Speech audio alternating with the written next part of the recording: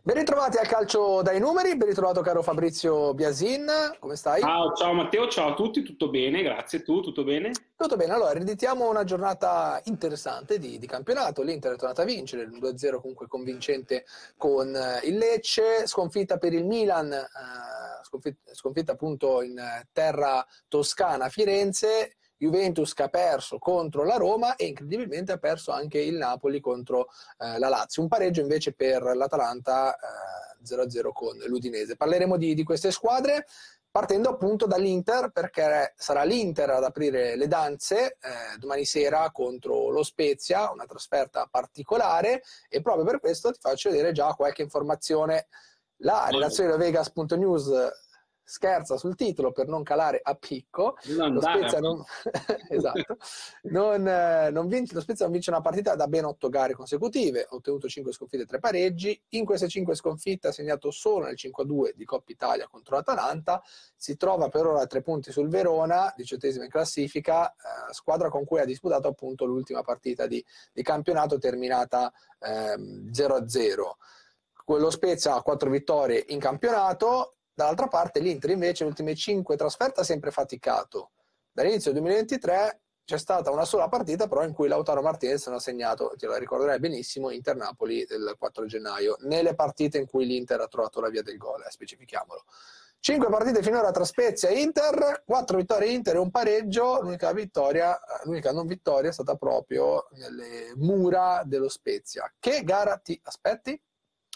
Allora, eh, partiamo da un presupposto, cioè l'Inter quest'anno in trasferta fa fatica, perché al di là della, degli avversari l'Inter è una squadra che prende un sacco di gol in trasferta, oltre 20, mi sembra 22, in casa in realtà invece l'Inter è un fortino, ha proprio questa eh, differenza tra re, resa in casa e resa in trasferta, quindi anche la trasferta di, con, con, lo Spezia è una trasferta, secondo me, sulla carta non così semplice, per mille motivi, uno legato al fatto che è un campo molto particolare, eh, tendenzialmente fastidioso per, uh, per, il gioco, secondo me, di Simone Inzaghi, la testa può essere la partita di martedì di Champions League, che è ovviamente la partita più importante fino a questo momento della, della stagione, quindi insomma, per me non è una partita così scontata, detto che lo Spezia, secondo me, non ha fatto una gran scelta nel cambiare il tecnico. Io non ho capito perché si è scelto di lasciare partire, lasciare andare, di esonerare Gotti, che per me stava facendo il suo onesto lavoro. Però, ripeto, per me non è una partita così scontata, con ovviamente una strafavorita che è l'Inter di Simone Inzaghi. Allora, ti, ti, volevo far vedere anche un po' di dati più specifici per quanto riguarda appunto la, la gara tra lo Spezia e l'Inter, eh, perché dobbiamo vedere qualche evento legato alla partita. La vittoria dell'Inter, 66% di possibilità, pareggio finale 20%. 66% ti dico che secondo me è un dato un po' basso. Mm. Vedendo eh, soprattutto basso... i precedenti che però io condivido perché è legato un po' anche a, all'esperienza di questa stagione, cioè mh, l'Inter purtroppo quest'anno in trasferta ha avuto tanti problemi, sia quando ha affrontato avversari di un certo livello, sia quando è andata in provincia. E quindi ci sta che non ci sia tutta questa certezza, perché purtroppo, ribadisco, l'Inter ha avuto molti alti e bassi in campo eh, nazionale, cioè in campionato. E quindi insomma deve trovare quella continuità che fino adesso non ha avuto, ma io comprendo questo dato. Quindi c'è una buona probabilità che l'Inter vinca, ma nessun tipo di certezza. Ah, infatti, probabilmente proprio per, eh, per, questa esperienza, tra virgolette, questo trend che ha avuto l'Inter, soprattutto nelle varie trasferte, eh, che porta insomma gli algoritmi statisti a dare questa percentuale. Vediamo qualche altro dato. L'ultimo per quanto riguarda appunto la, la squadra nerazzurra, due o più gol dell'Inter 63%, questo è un buon dato perché evidentemente c'è fiducia per quanto riguarda eh, gli attaccanti, soprattutto nerazzurri. La vittoria dell'Inter senza subire gol 41%. Secondo me invece questo è un dato molto alto, se quello di prima era eh. basso, questo invece è molto alto. Questo fa proprio il paio con tutto quello che stavamo dicendo, no? cioè, una, una trasferta dell'Inter senza subire gol quest'anno è una rarità, mentre in casa è difficilissimo fare gol all'Inter, in trasferta più o meno ce l'hanno fatta tutti. E quindi ci sta che ci sia questo 41%, così come sono abbastanza convinto che l'Inter possa fare diversi gol, perché in questo momento è vero che non ha mai vinto di goleada, però io credo che in questo momento si stia un po' scaldando per la fase cruciale della stagione e la partita di venerdì può essere, anzi deve essere assolutamente un test probante per, ripeto, quella di martedì prossimo che invece è la partita. Come la stai vivendo questa attesa? Con un po' Male. di... Male. Male. Secondo te i giocatori come la vivono? Ma i giocatori non ne ho la minima idea, io ti posso, posso dire quello che, che, che, sento io, cioè è un po' come quando c'è la maturità e i tuoi compagni di classe ah. l'hanno già fatta, no? nel caso specifico ah. ieri hanno giocato delle squadre, oggi altre, questo e quella, quindi insomma eh, tu devi aspettare, quindi insomma l'attesa è abbastanza fastidiosa nel mio caso. Okay. Vi, vi, invito come sempre ovviamente a fare un giro anche sul sito di, di leovegas.news per eh, avere maggiori informazioni, poter eh, scoprire qualcosina in più, eh, proprio tra l'altro su due squadre con cui leovegas.news ha una partnership, l'Inter e l'Atalanta, quindi fate un giro sul loro sito. Abbiamo parlato dell'Inter, dobbiamo parlare però eh, di un'altra squadra ora che ha fatto un passo falso forse inaspettatamente anche, in casa con la Lazio, è arrivata la prima sconfitta stagionale interna in campionato per appunto il Napoli di Spalletti. Fuga per la vittoria, nella scorsa partita con l'Udinese, l'Atalanta ha pareggiato 0-0 per la prima volta in questo campionato, una gara complicata da tenere sott'occhio. Nell'intero girone d'andata l'Atalanta ha segnato 37 reti, eh, dopo sei giornate ne aveva segnati 10, mentre nelle prime sei giornate del girone di ritorno ne ha già segnati la metà, quindi comunque l'attacco eh, ha dimostrato di essere buono, almeno per quanto riguarda eh, l'anno nuovo. La sconfitta contro la Lazio ha interrotto una striscia positiva di 8 vittorie consecutive per il Napoli. In queste 8 vittorie il Napoli ha segnato la bellezza di 21 reti. Guarda che dato che ti do, Mario Rui, che salterà la sfida per squalifica, non ha giocato in nessuna delle tre sconfitte stagionali del Napoli. Mm. Liverpool, Inter e Lazio. Interessante. Che partita ti aspetti per quanto riguarda questa gara qua? Allora, Soprattutto intanto, ti aspettavi la sconfitta del Napoli? Assolutamente no. Intanto vorrei partire invece, caro il mio Matteo, facendo va. una cosa che non va mai fatta, lodandosi, perché chi si loda si imbroda, ma noi, io e te, tu non te lo ricordi, ma noi settimana scorsa lo avevamo detto. Ah sì? Perché, eh, certo, io me lo ricordo perfettamente, si diceva attenzione perché la Lazio arriva da una brutta partita con la Sampdoria, il Napoli è il Super Napoli, ma io dicevo attenzione perché la partita contro eh, tra, tra, Napoli e Lazio, è una partita dove secondo me la Lazio potrà fare un partitone. Devo dire, forse l'unica volta nel nuovo millennio che ci ho beccato e quindi pre- eh, mi va di ricordarlo. Ok, fatto bene, fatto bene. Così come ti dico che in questo Vai. momento l'Atalanta, per me il Napoli non ha alcun tipo di problema nella sua strada verso lo scudetto, ma proprio okay. zero problemi. Mm, L'Atalanta arriva da un momento non buono perché la prestazione è anche decente, ma non arriva il risultato. E io ti dico, invece, ti dico, che invece, l'Atalanta può dare molto fastidio al Napoli. Ok. Ti, ti, seguo a ruota su, su questa gara. Non, non, so come mai, ma mi hai convinto. Sei stato un ottimo venditore. Guarda, ne prendo una a millennio, quindi l'ho già presa. Questa era sbagliata. ok. Eh, particolare questa curiosità appunto di, di Mario Rui, eh, giocatore che non c'è stato nelle, nelle sconfitte, simpatica, una, una statistica particolare. Queste le probabilità. 58% di vedere Napoli uscire con i tre punti, 23% il pareggio, 19% l'Atalanta, quindi è molto più probabile che il Napoli vinca piuttosto che non vinca, quindi che ci sia un pareggio o una, una sconfitta. Ma secondo te sono numeri che proprio non hanno preso in considerazione la recente sconfitta con la Lazio, no?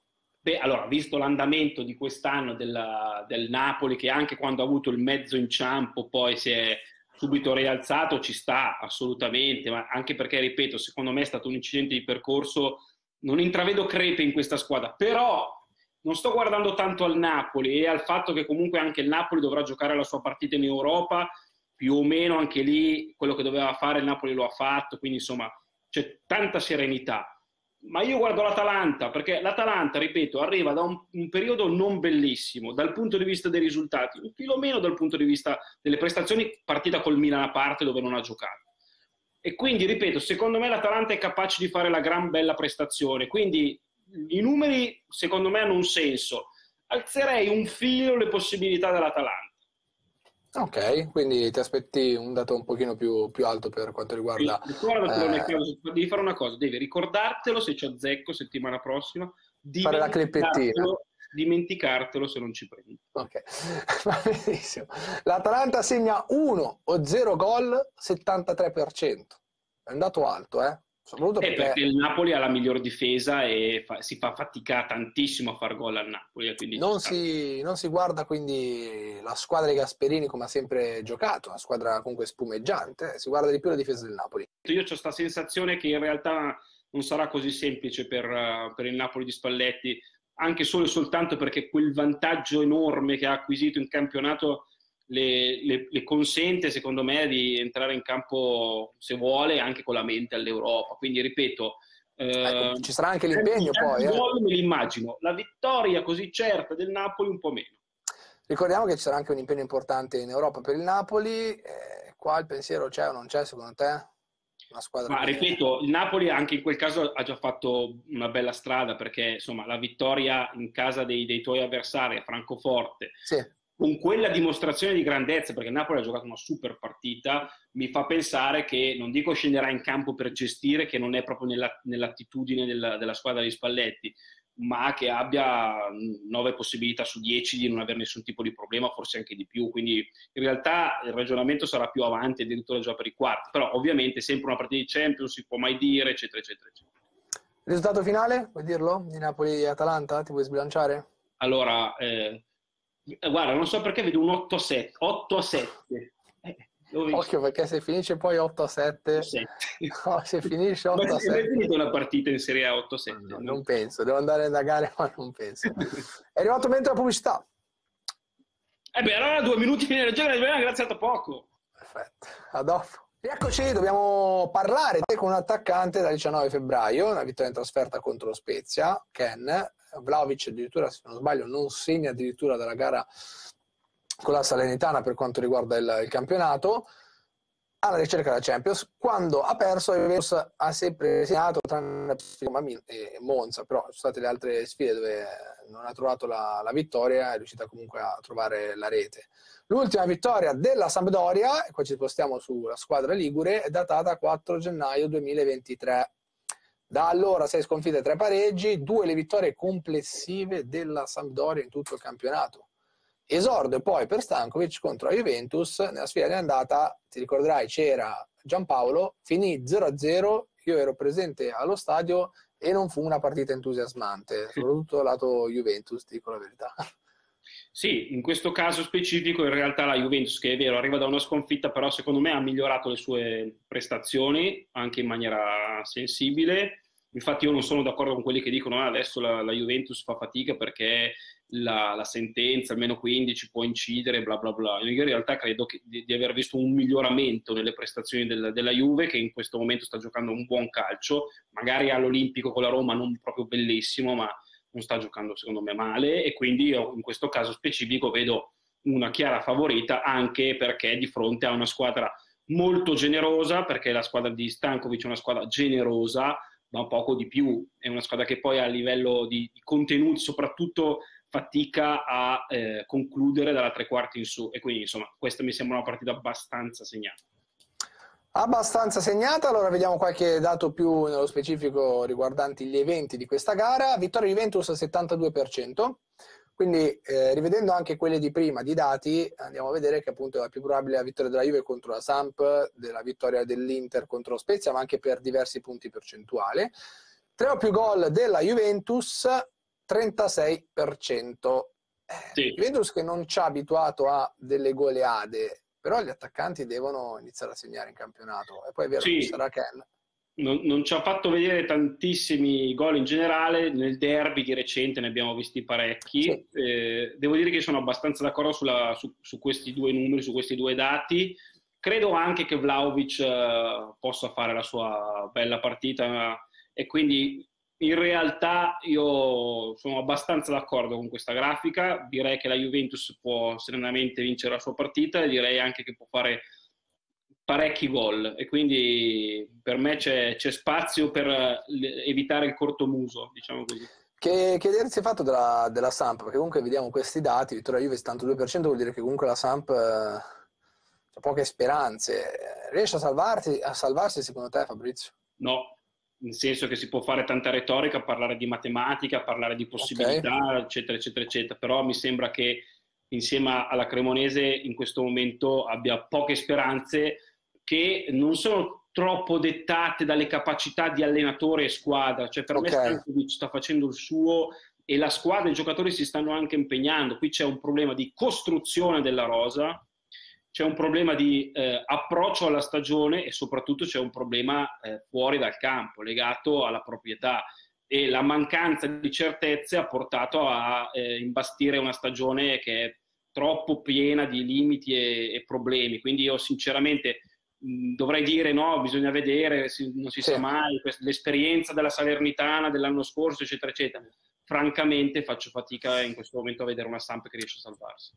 Segna solo una squadra 60%, 1 o 0 eh, cartellini per la Juventus, questo è andato un po' simpatico vedendo l'espulsione della settimana scorsa di, di Ken, eh, 37%. Non è una squadra che ci ha abituato a collezionare tanti gialli, anche se questo è è comunque un, un dato. Eh. 1-0, perché se sono eh, di più guarda, è un altro dovrei, dato. Dovrei, più che guardare alle squadre, mi piacerebbe capire chi, chi l'arbitra questa partita, perché ci sono arbitri più cattivi, arbitri meno cattivi. eh, ma le statistiche guardano anche quello, eh, vedrai, eh, sono andati a, Secondo me quello fa un po' la differenza. Io eviterei eh, di, di ragionare sui cartellini, sul segna solo una squadra, tu sei stato molto carino nei confronti della Samp, in, quasi, in teoria questo cartello dice segna solo la Juventus. No? Eh, sì, diciamo che appunto avere, comunque ha una doppia valenza, però è ovvio che la, ti porta, tutto ti porta a pensare che sia in realtà più dovuto a, alla Juventus che, che alla Sampdoria. Sì. Insomma, vediamo, vediamo, che partita sarà. Non,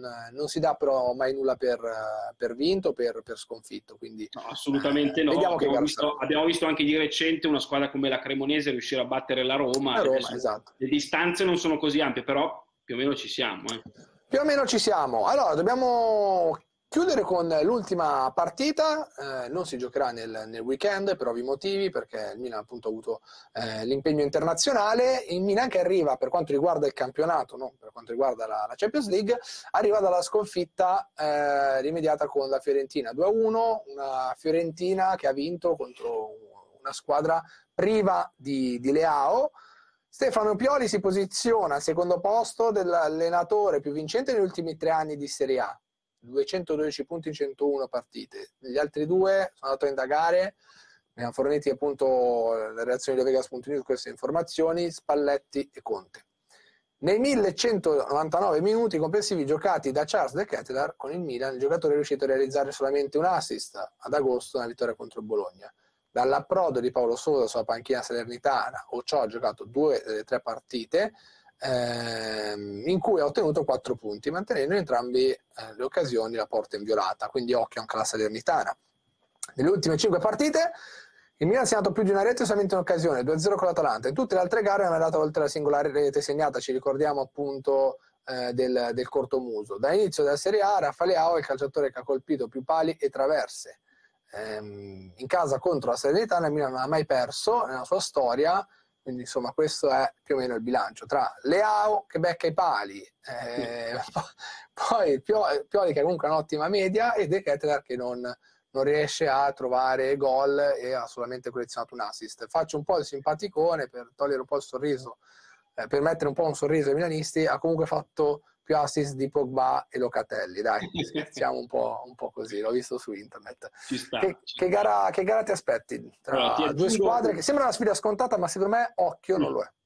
Sai, poi una è reduce dal, dall'impegno in Europa, si gioca di lunedì, insomma, bisogna sempre comunque stare attenti, anche perché la Salernitana giustamente si gioca le sue eh, chance e salvezza, per cui eh, attenzione, mh, aggiungo io un dato, il Milan con Leao è una squadra da 2,2 punti Vero. di partita, senza Leao è una squadra da mi sembra 0-9 perché ha saltato 5 partite, il Milan ha fatto 4 sconfitte e un pareggio, quindi insomma eh, sicuramente con Leao è una squadra eh, superiore. Sono molto curioso, ma questa è una cosa che purtroppo ancora non, non so e non sappiamo, di vedere se lunedì è la partita di Ibrahimovic, perché eh, potrebbe essere anche la partita di Ibrahimovic e quindi sono curioso di vedere se Pioli eh, sceglie di schierarlo magari addirittura da, dall'inizio. Ovviamente in questo caso c'è una squadra che è nettamente favorita, una squadra che ha avuto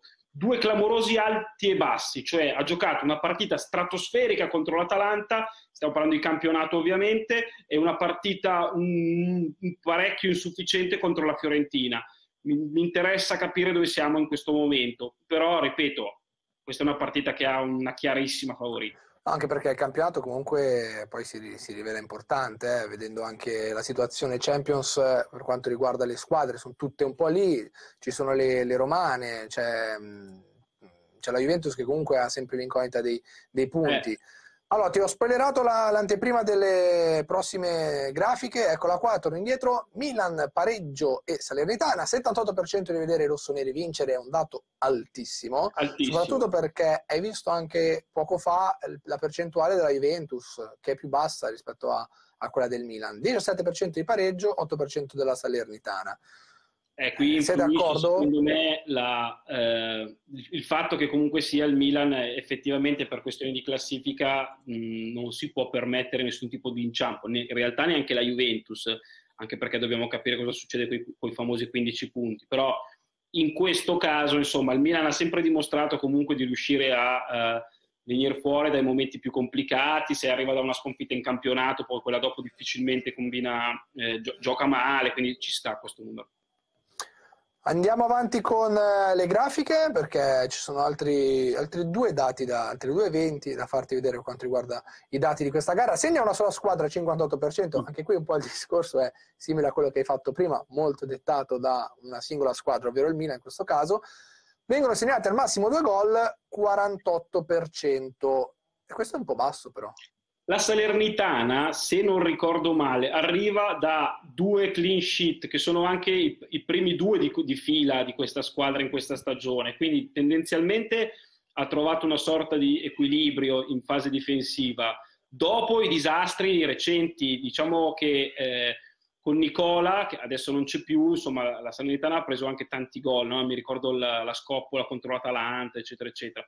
Ecco, arriva da due clean sheet credo che sia più un caso che una capacità, quindi per me la possibilità che ci siano tanti gol invece a San Siro è abbastanza concreta. Vediamo l'ultimo, ed è un po' particolare, preparati Fabrizio. Vai.